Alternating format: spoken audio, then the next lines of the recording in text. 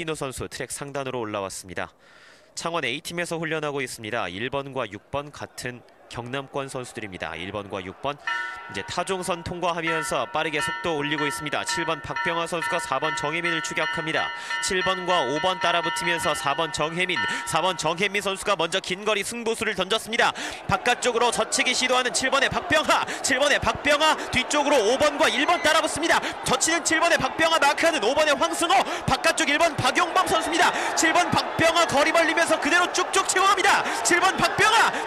7번 박병하, 7번 박병하 결승선 통과. 이어서 5번 황승호 선수가 이어서 결승선 들어왔습니다. 7번의 박병하 선수 저치기로 6연승째를 챙겨갑니다. 오늘 특선급 결승 경주에서도 주특기 저치기로 다시 한번 멋진 1승을 챙겨갔습니다. 경유팬 여러분께서는 심판의 순위 확정이 있을 때까지 경주권을 꼭 보관하시기 바랍니다. 고맙습니다.